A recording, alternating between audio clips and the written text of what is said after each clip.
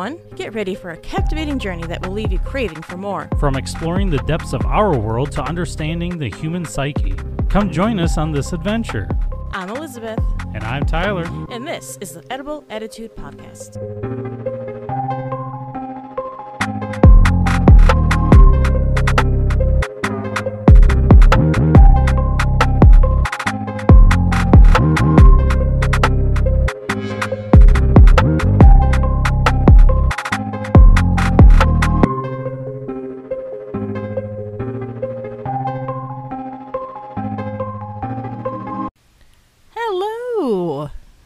Hello, love. how are you today? I'm great. How are you? I'm fantastical. Good. Yeah. Good to hear. Mm-hmm. How's life? Life's great. Yeah, that's good. Read anything interesting today? Did I read anything interesting today? Yeah. I was working all day.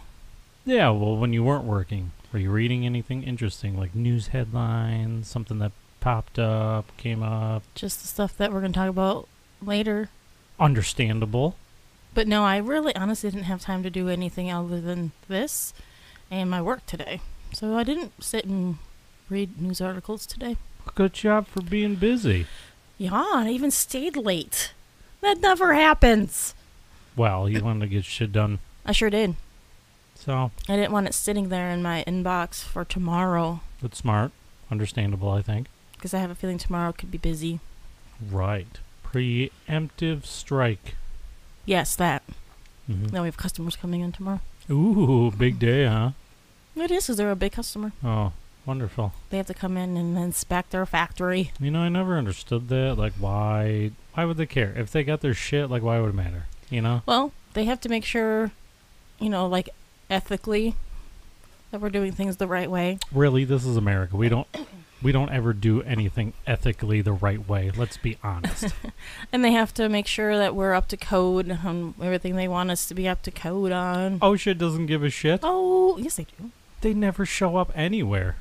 They only show up at like construction sites, as far as Oh. to my knowledge. Okay, well, You ever seen OSHA in your building? In the building that you work at? no, because we don't have accidents. We do, but yeah, no, because I've you never. guys are a bunch of fucktards. Right, I'm just kidding. but we don't ever see them. So Maybe you Whatever. don't see them. Maybe just your bosses see them. Why don't you ask your boss Friday? Yo, have you ever seen OSHA in here? that's a good idea. I probably should. I'm gonna ask someone tomorrow Okay. and report back. Okay. Okay. Fair enough. Sounds good. Did you read anything interesting today? Who am I kidding? You don't read. It's okay. Well, nothing really interesting that I Oh. haven't already heard before. Like, there's a war happening, people are dying, sickness, yada yada yada, Yeah, the king- corruption, whatnot. The king has cancer. You should oh, care yeah, about that's that. right. He does have cancer. He does. Man, she was older than sliced bread, and he can't live for a year being king. Man, she had it figured out. Let me tell you. Long live the queen. Long live the queen. Not my monarch. Not my monarch. Yeah, we're, we're not British. Yeah, exactly. That's why he's not my monarch. Amen. Plus, those lineages are always fucking weird. It's the whole thing is just weird. You know, one day someone conquered the land, so they're king. And then they suddenly have heirs. Yeah, because they everybody fucks. Well, no, I get that, but I mean, like, before they conquered the land, they didn't have heirs for that land. No, but once they became self-proclaimed monarch of the realm, Oh. you know, any of their legitimate children would automatically be heir to that claim. My question is how did they figure out, like, if they conquered a place, how did they figure out where the fuck the borders were? They just kept pushing until they got, you know, and they fight until they. Yeah, but how would they know? You can't physically see the border because it's all just land. Yeah, because at one point the Romans owned everything, and then eventually it all kind of, over time, evolved into borders. Well, even like states. Same thing. the only thing they have is like signs. Welcome to Indianapolis. Okay, or well, that's a something. whole other podcast. So what are we going to talk about instead of that? Well, we're going to talk about lesser known historical events. Ooh, so we were. I was kind of on the right track. Kinda, Yeah, sorta. Have you ever heard of the dancing plague? I have, but I don't know much about it. All I know is that uh, some lady started dancing, and then a bunch of other people started dancing, and then the priest was concerned, and then he started dancing. So it was a whole thing. And then a bunch of people died from exhaustion. That's hmm. wh- that's what I remember. Well, on to the next one. That's bullshit. No, I'm just kidding. I can give you a little bit more information than that. but yeah, that's the gist of it. Absolutely. Bring it on. See, I knew a little bit. You did, absolutely. So, the dancing plague happened in 1518. Good lord. You know, a long time ago. Holy crap, that's like five, 500 years ago. Oh my god, that just kind of smacked me in the face. Anyway, in the small town of Strasbourg, France, a mysterious phenomenon gripped its inhabitants in the summer of 1518. Over Mhm. 400 people became afflicted with an uncontrollable urge to dance. Four hundred. 400, yeah. Oh, I my thought was like thousands Oh, no. for whatever reason. I don't know why. Leading to exhaustion, injury, and even death. I think maybe the, some of the things you saw were just exaggerating. oh, probably. Yeah. Yeah, it's the internet. True. The outbreak began in July 1518 when a woman called Frau Troffea began to dance fervently in the street of Strasbourg. Troffea kept up the constant dancing for a week. Soon, three dozen others joined in. By August, the dancing plague had claimed 400 victims. Dancers were beginning to collapse. It is said some even died from a stroke or heart attack. No one knew what caused this reaction, which meant no one understood how to remedy it. And by early September, the outbreak began to subside when the dancers were sent to a mountain shrine to pray for absolution. So she danced for a week straight. Mm-hmm. Correct? And did everybody else dance for a week straight after they began dancing? Or was she still dancing She when they joined in? Yeah, she was still dancing when they joined in. Holy shit. And then they've been dancing for a couple months at this point. Holy sh! Like not sleeping or anything. I don't know. They don't really say. It says historical documents, including physician notes, cathedral sermons, local and regional chronicles, and even notes issued by the Strasbourg City Council, are clear that the victims danced. It is not known why. Historical sources agree that there was an outbreak of dancing after a single woman started dancing, and the dancing did not seem to die down. It lasted for such a long time that it even attracted the attention of authorities, until the council gave up authority to the physicians, who prescribed the afflicted to dance themselves free of it. Doctors were like, I don't fucking know, just dance. Till you die. Yeah, I figured it out. I Did- know why they did it. Oh? Yeah. They had ants in the pants. they sure did. You're right. Just like that game. Holy crap. You just solved a 500 year old mystery. Wow. when you really look at the hard evidence, you, it's pretty easy to figure out. That's out. true. I can't believe these idiots didn't figure this out so long ago. God. Well, they didn't think about the ants. They- okay? You're right. It might have Probably been didn't. different ants. Probably. I'd see them just used to like black ants. They, Mm. those just tickle. What if they were like red ants?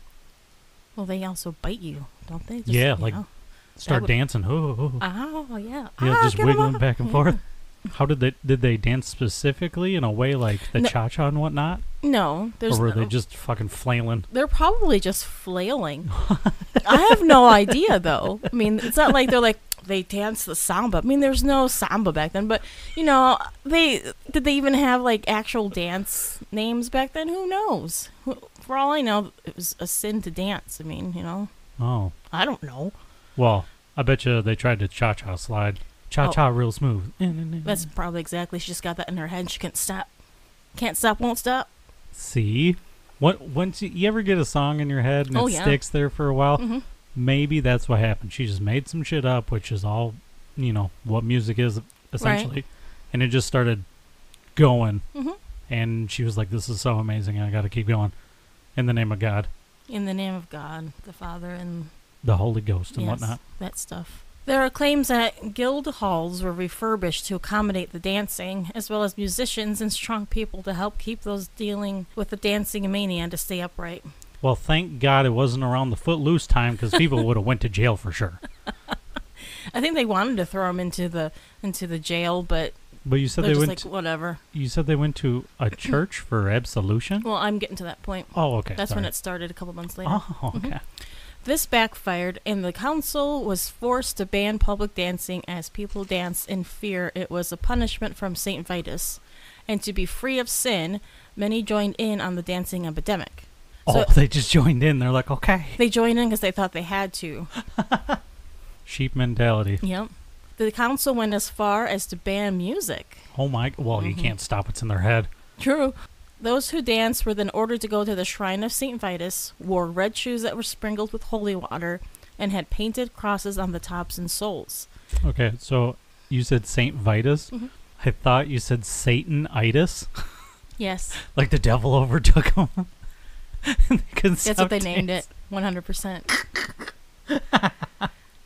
Satanitis. I guess I need to enunciate better. I do apologize. No, no, no. I heard you. My brain said something different. Oh, okay. They also had to hold small crosses in their hands, and incense and Latin incantations were part of this ritual. Apparently, forgiven by Vitus, word was spread of a successful ritual and the dancing plague has ended. So it just stopped abruptly as it began, or what? Yeah, because they sent them up there to, and then they did a ritual from the saints that they thought that they were being being cleansed by the saints. So like, don't worry, you got cleansed at the shrine of the saint, whatever his name is. You can stop dancing now. And they're like, oh, thank God. Interesting. Mhm. It's so weird. There was other similar events said to have occurred throughout medieval age, including in the 11th century in Saxony, where it was believed to be the result of demonic possession or divine judgment. And in the 15th century in Italy, a woman was bitten by a tarantula, the venom making her dance convulsively. I don't think the venom was making her da- dance convulsively. She was probably having a frickin' seizure. Or a stroke, one of the two. Good lord. Or a heart attack because of the venom. The only way to cure the bite was to shimmy and to have the right sort of music available, Hell yeah. which was an sh- accepted remedy by scholars, which is hilarious. You gotta shimmy it away. Shimmy. What a workout. Bet you, bet you fat people lost at least 20 pounds that month. They weren't fat back then unless you were rich, so there was no fat people. What about like, uh, like friars? Friars were always pictured as bald and fat, right? That's true, but they were, you know, men of God, so they got fed by the parishioners. Mm, that's fair. I wonder what the ritual was like, or what it was. They said Just beat them till they stopped. They said they had to hold small crosses, wear red shoes, um, hold incense in their hands, and Latin incantations were said. They didn't say anything about beating. They just did a ritual with Latin incantations and incense. Please, Lord, forgive us our sins of dancing for no reason. Okay, okay, you can stop now. Oh, I'm scared. Wonderful. Praise Allah. I don't think Allah was in France at the time, Oh, but okay. Allah is just another word for God. I know that. So you're saying God wasn't in France at the time? You sure wasn't if they were, they were all dancing for no apparent reason. They were dancing for the Lord. All right, my next one. Ooh. Are you ready for this? Oh, I'm not. Okay. I wasn't ready for that first one. Yes, you were. You knew all about it. I kind of knew about it, but I didn't know about the shimmying. That was interesting. all right, this one is the Great Emu War. I have heard about this. What do you know about it? That it's against Australia and emus, but there have been two emu wars, and they lost both of them. It wasn't two wars, just two attempts at a war. I guess two wars. But still, they're giant goddamn birds. Big, ugly, evil ostriches. Yeah. Well, smaller than ostriches, but that's beside the point. You want to hear about it? Sure do. Okay, good. Well, did you know that Australia once waged war against a seemingly harmless foe? Emus? Yeah, sure did. In 1932, Australian farmers armed with machine guns faced off against an army of emus, wreaking havoc on their crops.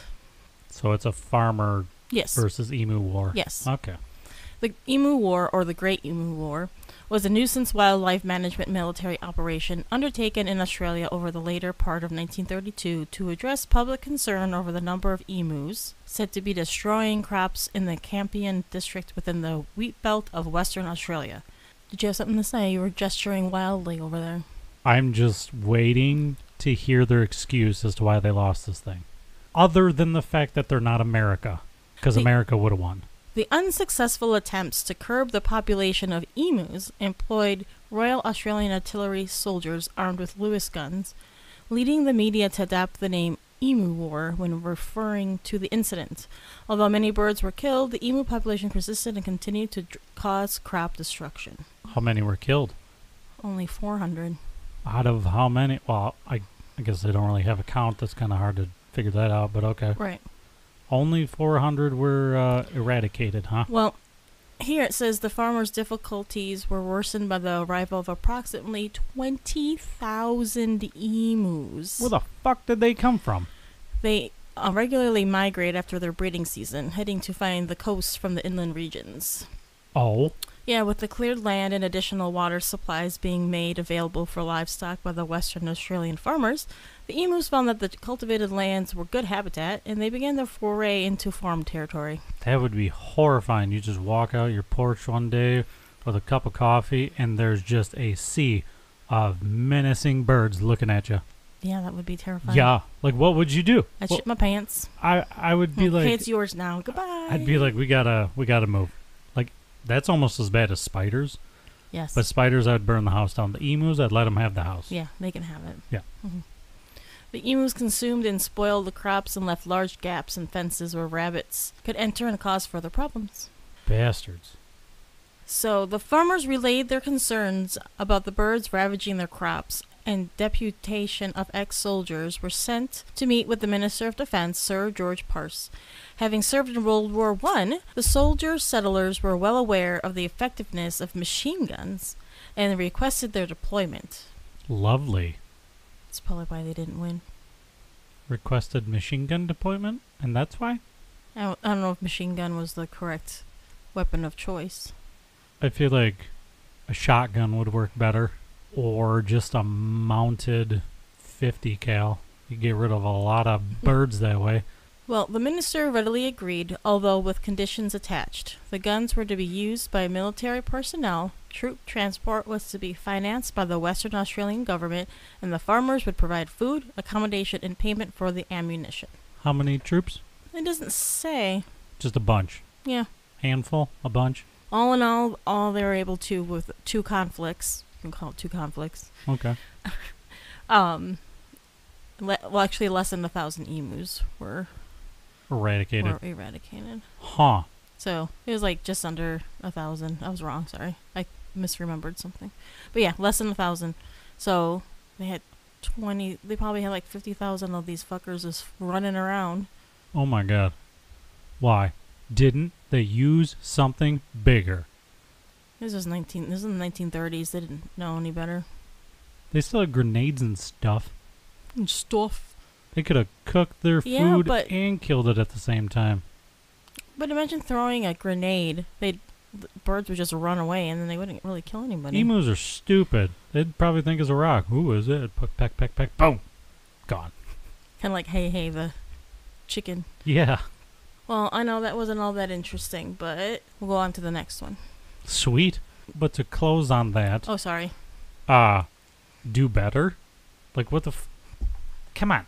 What are you doing? There was a little bit more. I didn't get this information. There's a little bit more about later on, but they really pretty, they pretty much just gave up on it. Yeah. There's these things called well, I mean fences. They were knocking them down, I guess, Build bigger ones. or like metal ones. Or electric ones. There you go. Or just set up traps. I just don't had, know. it's so weird that the Australians were letting emus get the better of them, and they got fucking kangaroos Yeah. and crocodile. No, And poisonous shit. Yeah. But they fall to they fall to the flightless birds. Good Indeed. lord. It's like Americans losing their house to worms. That's how pathetic that sounds. emus. It's so true. There's worms in my basement. Well, gotta move. gotta move. Can't do anything about it. You gotta it. get the government involved. Yeah. Although emus, I think, are pretty aggressive. I would Aggressive or not, but a 50 cal in your brain ain't gonna do anything for the bird. He's just gonna die. The bird's gonna be dead. Like, you can't do anything after that. You eat emu though. Emu's good. Yeah, it, I've, is. I've had it. I've it's had it. it's tender, very tender. it tastes like chicken. It does. It does not. It tastes like pork. No, it tastes like chicken. I oh. think Oh. it tastes like chicken. I don't know. I'm just. Step your game up, Australia. You started with convicts. What are you doing? all those venomous and poisonous animals. Yeah, they boxed kangaroos for fun, But- and then they ran away from emus. Dude, Dude. come on. What are you doing? Have they disappointed you? They have. You know what? We should. They should just get sold to Japan. Aren't they close to Japan? Yeah. They should get sold to, J- to Japan just for that. Just for that, huh? Well, at least Japan could bolster their numbers with more, or could have at the time, I guess. Yeah. But still, like, what the? F- What the fuck? that's an outrageous not so fun fact. I'm, I'm sorry I didn't find my facts fun. Well, that one wasn't fun. That was just irritating because it's like, what the fuck are you guys doing? God, Machine guns. If you are enjoying this topic and you would like to talk more about it You can find us at Edible Attitude or at Edible Attitude Podcast. on Facebook, Twitter, or Instagram. All right, on to my next one. You ready? I'm ready. Okay, because you weren't ready before, so I'm ready su- now. Oh, okay, good. The Great Molasses Flood of Boston. Was there a fire in Boston also at some point in history? I'm sure there was. And They had a tea party too. they did have a tea party. No, I feel like there's there's a lot more history with Boston from like disasters, Mhm. like fires and shit. I know there's the Great Chicago Fire. There's Mhm. that. Um, during the Prohibition, there was a bunch of like booze dumped out into the Mm-hmm. you know the road to make like a river. Basically, hmm that would be insane. People just getting hammered by smelling the booze in the street. Yeah. Children, don't go outside. There's worms out there. what a time to be alive. yeah, yeah, wouldn't it be? Anyway, what about this molasses? Okay. In 1919, a peculiar disaster struck the streets of Boston a massive wave of molasses. Okay, so what happened is there was a ruptured storage tank unleashed a deadly tidal wave of sticky sweet syrup, causing destruction and claiming lives. Isn't that crazy? Anyway, Gets swallowed up by a wave of molasses, Yeah. huh? Oh, the what great a terrible way to go. the Great Molasses Flood, also known as the Boston Molasses Disaster. Oh my God, say that five times. The fast. Boston molasses disaster. yeah, that was pretty good. Hold on, I gotta enunciate disaster better. The Boston molasses disaster. That was good. I liked it.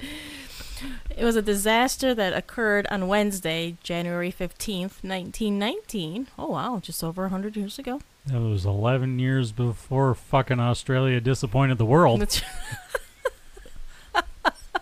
Good God. 1900s were a rough time. The 1900s were indeed a rough time. A large storage tank filled with 2.3 million gallons, weighing approximately 13,000 short tons, burst, and the resultant wave of molasses rushed through the streets at an estimated 35 miles per hour, Oh, oh my. killing 21 people and injuring 150. I mean, if molasses, if sticky syrup is cruising that fast, he ain't getting out of its way. The event entered local folklore, and residents reported for decades afterwards that the area still smelled of molasses on hot summer days. Is it is it gone away now? I'm assuming. I didn't smell it when I was there, Oh, okay, and I was there on a hot summer day, so I think it's gone. okay. But So you know. what caused this tank to go boom? Well, let's see. Damage to the Boston Elevated Railway caused by the burst tank and resulting flood. This is part of the aftermath. Sure. First to the scene were 116 cadets under the direction of Lieutenant Commander H.J. Copeland. That wasn't enough people for one. That wasn't enough people. 116. No. Nope. Needed at least more. A training ship of the Massachusetts Nautical School, now the Massachusetts Maritime Academy, that was docked nearby at the playground pier. The cadets ran several blocks toward the accident and entered into the deep, knee-deep flood of molasses to pull out the survivors, while others worked to keep curious onlookers from getting in the way of the rescuers. Boston Police, Red Cross, Army, and Navy personnel soon arrived. Oh, good. They brought more people. Yep. Good. Some nurses from the Red Cross dove into the molasses, while others tended to the injured, keeping them warm and feeding the exhausted workers. Now, when I hear that, I'm- imagine the, you know, them diving in. Oh yeah, head first. Whee! Just fucking belly flopping in there. I got you. Splat. right. So wait, this molasses wasn't hot. What was it used for? It was just a molasses factory, huh? Could have been. Okay. I don't know. I don't know how they did things a hundred years ago. I'm not I mean, that that's old. a that's a lot of molasses, so that would make sense if it's just a. It was like in a tank. yeah, right. Yeah. Many of these people worked through the night and injured, and the injured were so numerous that doctors and surgeons set up a makeshift hospital in a nearby building. Rescuers found it difficult to make their way through the syrup to help the victims, and four days elapsed before they stopped searching. Many of the dead were so glazed over in molasses that they were hard to recognize. Ooh, Yeah. Rough. Other victims were swept into Boston Harbor and were found three to four months after the disaster. Still wrapped in molasses. Um, no, because they were in the water. They found them in the water. Oh, That would be wild if they were still wrapped in molasses. Right? In the wake of the accident, 119 residents brought a class action lawsuit against the United States Industrial Alcohol Company. So it's the booze's fault. I guess. The company claimed that the tank had been blown up by anarchists because some of the alcohol produced was to be used in making munitions, but a court appointed auditor found USIA responsible after three years of hearings. Oh, Yep. So ultimately, the company paid out $628,000 in damages, which is roughly $11 million today. holy shit. And the relatives of the killed reportedly received around $7,000 per victim, which is equivalent to about $120,000. Still not enough. Nope, not at all. There's- I bet you there's there's one no- kid that's like, I'm gonna find this president, and he found him, backed him into a corner, and he goes, "What do you want from me? Do you want more money?" And he goes, "No, I want my father back, you son of a bitch." Aw. Why you gotta do that to me? You're probably right, though. Because my name is Inigo Montoya. You killed my father. Now prepare to die. That'd Uh. be cool if that happened, though. Just saying. Just saying. Quoting a movie that hasn't even come out yet. You go, little dude. That would be an amazing. That guy grew up to be Barack Obama. Wow, he's a time traveler. Crazy. Okay, so the cleanup crews used salt water from a fireboat to wash away the molasses and sand to absorb it. Hold, hold on, hold on. You said fireboat. My mind went to this boat's on fire shooting water just to prevent it from sinking or No, getting. You gotta have fireboats because what if there's a fire on a ship ah, in the harbor? I, get that. I get, I get that now. But Oh, okay. initially, I sorry. my brain said fireboat. Fire! Ooh, fire. it's on fire. Put it out. You're pointing the gun the wrong way, moron. All right. Wow, no, it's it's a fireboat, kind of like a fire truck. Mm, I Just get, a I fire get that truck. now. Okay. All right. Let's let's carry on. That boat must have been interesting to ride on. Big old cannon shooting out of there. Uh, the cleanup in the immediate area took weeks, with several hundred people contributing to the effort, and it took longer to clean the rest of Greater Boston and its suburbs.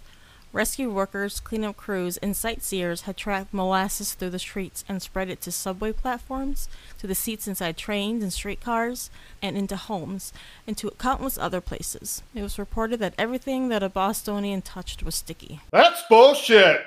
Sounds like a good time during uh, Prohibition. that too. I was gonna say Mardi Gras, but okay. Oh, well, it was prohibition. Well, everything's sticky. Can't stop the stickiness when you're having fun, babe. But that's not so fun if people die. So, Yeah, we don't want people to die because of the stickiness. so how far did this molasses go? Like square footage? Did I don't know. figure that out? You'd, you'd have, I, I'm not mathematically inclined. Was it it- the entirety of Boston? I don't know. It just there was a storage tank with 2.3 million gallons, and it went had a resultant wave of molasses through the streets at 35 miles per hour. So you have to do a lot of math, and I, I can't.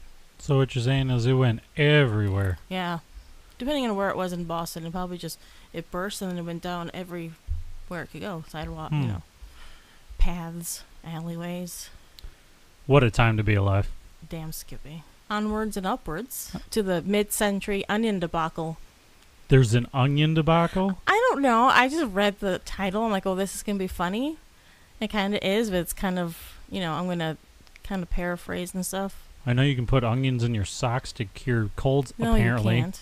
or put like Can half an put- onion in your room. Can we like not believe everything on the internet, please? I did it.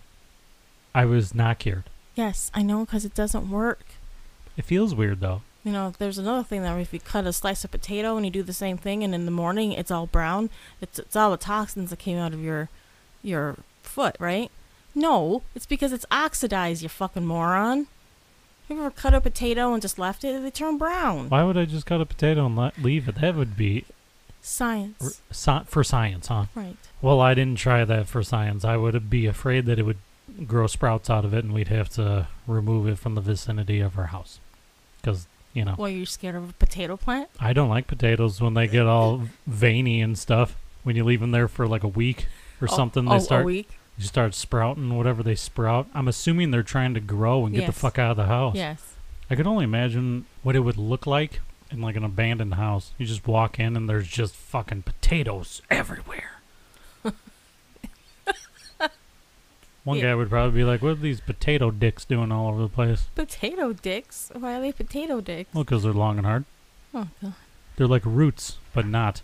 Anyway, so in the mid 1950s, onions became the most traded commodity on the Chicago Mercantile Exchange. However, thanks to the onion debacle, the rules of trading have changed dramatically, and onion futures are the only banned trading commodity in the United States. Hey man, you got a gun? No, but I got onions. Fuck, great. Give me three of them. what kind you got? I got red. I got yellow. I got white. What about Vidalia? You got those? I don't know what those are, so no.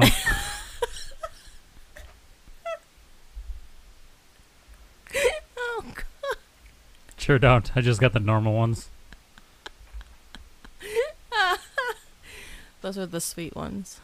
They're sweet onions? You didn't know they were sweet onions? I had no idea. Well, now you do. Huh. Is that why Shrek ate those? Oh, maybe. No, I'm pretty sure those are just red. But they have layers. Just like ogres. They have layers. Just like you. No. Oh. And parfaits. They, yeah.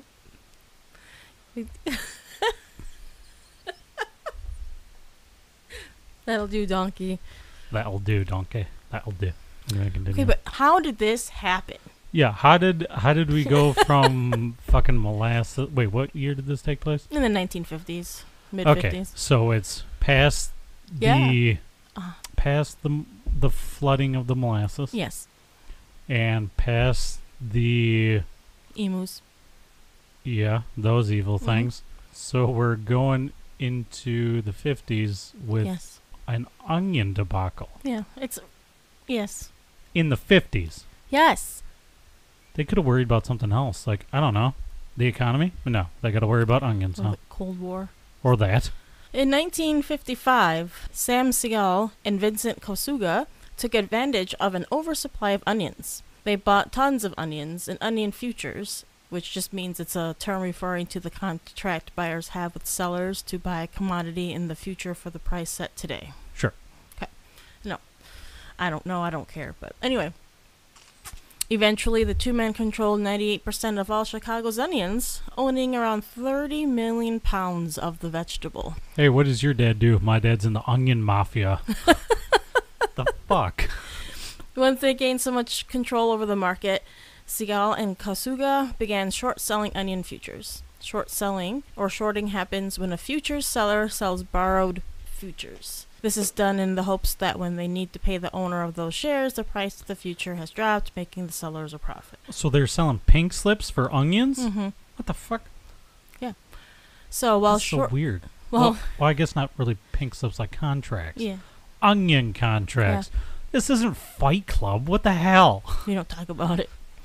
Anyway, while shorting futures is usually a guessing game, Siegel and Kosuga weren't guessing or hoping for a positive outcome. They were fully aware that if they suddenly released their onion stock into the market, supply would increase and their price would dramatically decrease. Yeah, so basically, so they took it one step further. When their previously bought onions began spoiling, they cleaned and repackaged them, making them look new. Oh God. This ultimately signaled to futures traders that onions were in abundance, driving the price of onions down even more. Wouldn't they want the price of onions to go up so Yeah. they get paid more money? Right. They're, they were trying, but so while they made millions of dollars, but as one can imagine, it had rippling effects across the country. The rest of the United States faced onion shortages thanks to the sheer number of vegetables in Chicago, where they were sold for around 10 cents a bag. This low price ultimately caused bankruptcy for many onion farmers. Yeah, because no one else knew about the onion mafia. Right. Gotta watch out for that onion mafia. If there was more people in the onion mafia, this wouldn't have happened. There was a, there would have been equal shares of all the territories of onions. But no, two corrupt motherfuckers Mhm. had to take all the onions. Mhm.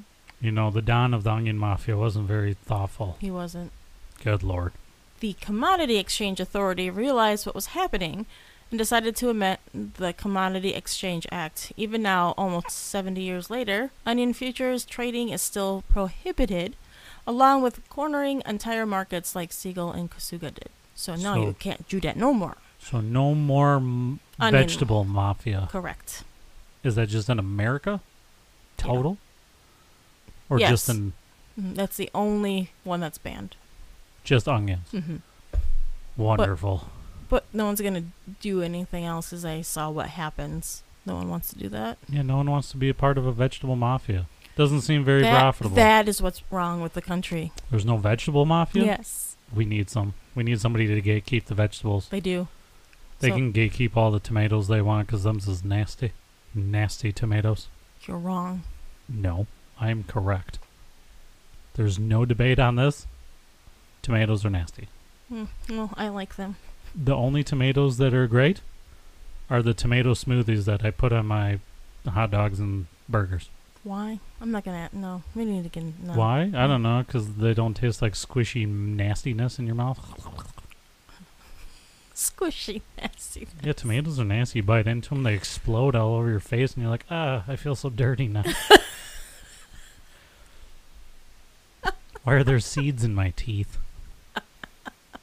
You got some juice on your cheek, bro. Ah, fuck, people found out. Anyway, I have another story. That was the end of the onion mafia. So no more, no more, no, more. onion mafia. No more illegal vegetable trading. How many years did that go on for? Oh, it wasn't very long. It was like a year. Yeah, It wasn't very long. yeah. America shut that down real quick. They're like, nah, this this mafia is ridiculous. We're not having this bullshit again. Yeah. But the other type of mafia, that's fine. Well, duh, yeah. hmm Because the government was getting money from them. Oh yeah. It's the oldest story in the book. Where was the cartel at the time? They could have helped the mafia with this problem. I'm sure they are part of it. No, it's just those guys. It's just those guys. Yeah, but I, I don't think they knew what was happening until it was happening. You know what I'm Mhm, saying? sure. Until America found out about it first and like, shit, that was a perfect opportunity to hide coke and tomatoes. Why tomatoes, sir? Because no one likes tomatoes. We can move them pretty easy. All right, so this last one, it's called Acoustic Kitty. Did you mean autistic cat? That's bullshit. Nope. I, I really didn't. but that's why I chose this one because it made me giggle because of what we call our cat. Our cat is definitely acoustic, let me tell you. Sometimes he just skirt skirts for no reason. Did I tell you what he did the other day? He jumped off my lap, got down, sat on the floor, looked up at the ceiling, and disappeared in an instant. Came back, was like, meow, meow. Like, what are you doing? What are you? Do- Why didn't you follow me? and I was like, what? And then he jumped back on my lap and promptly went to sleep. So whatever that was about, no clue. he was gone for maybe ten minutes. I don't know what he was doing. Was he pooping? I don't think so because I didn't hear him scratching at the door at all or anything. Why does he do that? I have no idea. Every time he goes to the bathroom, he just Scrape, he just scrapes the side of his his litter box. There's no apparent reason for it.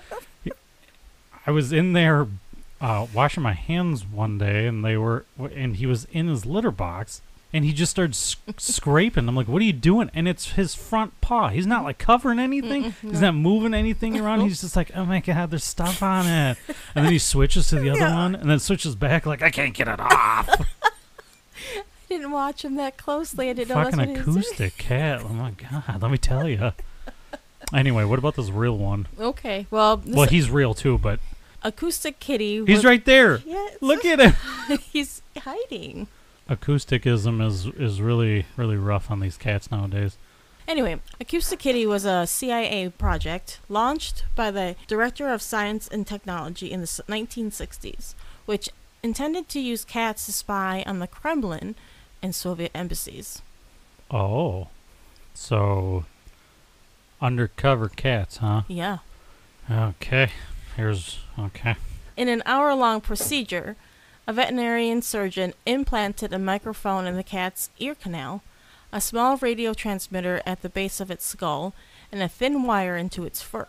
This would allow the cat to innocuously record and transmit sound from its surroundings.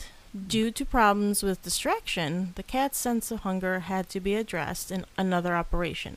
Um, a former CIA officer said Project Acoustic Kitty cost about $20 million. To try to train cats, huh? Yes. Uh, okay.